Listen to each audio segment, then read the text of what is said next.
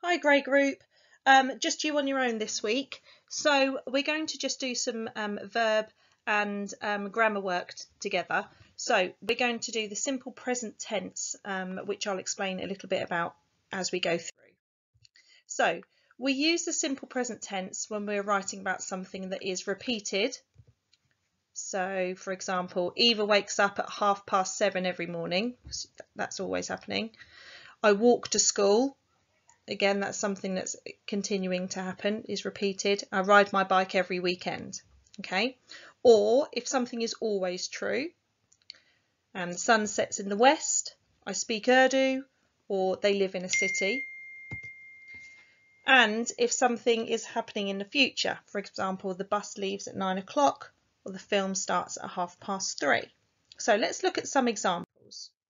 So what I'd like you to do is to match the correct form of the irregular verb to be to each pronoun. So here is the irregular verb to be and here are the pronouns. And what I want you to do is match the one that you think makes sense when you say it out loud to one of the pronouns. Okay, so just pause the video, give you a chance to do that. Okay, so Let's have a look how you got on with that.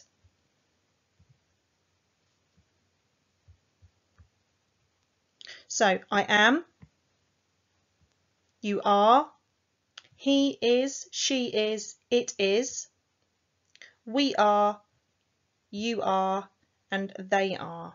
Okay, I wonder how you got on with those. Let's do some more.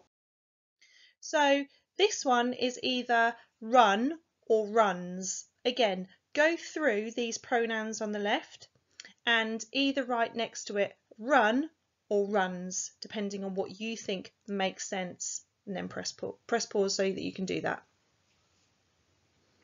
Okay, let's see how you got on. So, I run,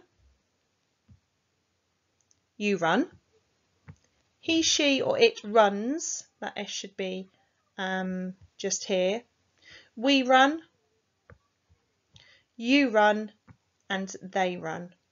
Okay, let's do one more example together. So here we have, and I'm sorry about the way it might look to you on the right over here, this should be either sing or sings. Okay, so again we've got the same pronouns on the left. Can you write next to each one whether it is sing or sings? Pause the video now. Okay, so let's have a look. And we've got I sing, you sing, he, she or it sings, we sing, you sing, and they sing.